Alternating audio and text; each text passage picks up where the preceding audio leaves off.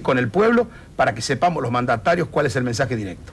Una pregunta concreta tenía yo, doctor Ángelos.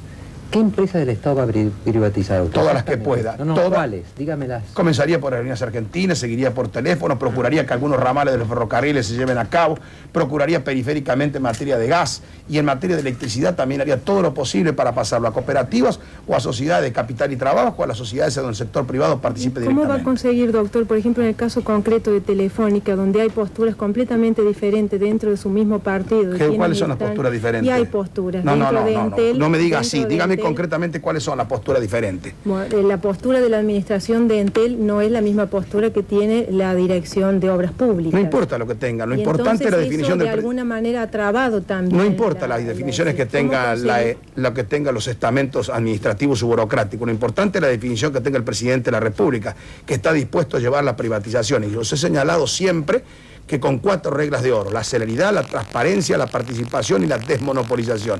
A nadie se le ocurra pensar que cuando yo le transfiera un servicio público al sector privado va a ser con el mismo privilegio monopólico que tiene el Estado, sino la competencia como regla de oro para establecer un servicio eficiente y bueno para el país. Tiene que marchar. Sí. Una, una sola, una sola pregunta sobre, sobre el, el plebiscito. ¿No es un poco peligroso? Porque si, por ejemplo, por hipótesis, el, el pueblo rechaza su propuesta y confirma la CGT en su monopolio, ¿eso significa que se acaba toda su política? No, lo que implica que vamos a tener entonces que establecer las reglas tales que hacen al régimen de la unidad sindical como es el que rige ahora, aquel en que la democracia interna tiene que tener vigencia en los sindicatos, el respeto por las organizaciones sindicales de menor representatividad y flexibilidad de las convenciones colectivas de trabajo. ¿Usted, usted va a tener algún ministro de Trabajo peronista? Lo que voy a tener es un trabajo, un trabajo muy eficiente. Muchas gracias por habernos acompañado. Eh, ya está el doctor Raúl Faval, eh, Raúl.